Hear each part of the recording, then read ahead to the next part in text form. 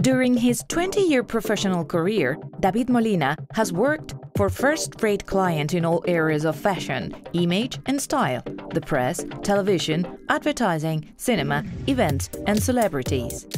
David Molina began his professional career at Barbera Films.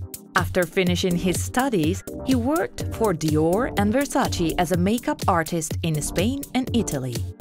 Today, he's recognized as one of the most important makeup artists in Spain, and he works for fashion shows that include top models and high-profile international celebrities such as Gisele Bündchen, Martina Klein, Ashton Kutcher, Liv Tyler, Ben Affleck, Ana Maria Barrio, and Victoria Beckham. He was an international makeup artist for Coty Group from 2009 to 2015 in product launch campaigns and was in charge of the image of Heidi Klum for Astor. Furthermore, he has worked side by side with the best photographers in the world Jonathan Miller, Antonio Terron, Rainer Hosch, Paul Pasca, Sergi Jasanada, and therefore enjoys international recognition. He has participated in all national and international press publications such as Vogue, Elle, Marie Claire, etc.